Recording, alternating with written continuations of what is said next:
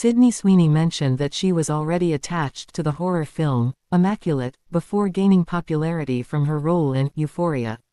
This suggests that her involvement in the project was independent of the desires of Euphoria fans for her to star in a horror film. Sydney Sweeney is aware of the Euphoria memes, and is crediting her new horror film Immaculate to them. In a new interview with The Hollywood Reporter, Sydney shared how she was already working on Immaculate when Euphoria Season 2 had come out and the internet wanted her to be cast in a horror film given her terrified reactions in the show.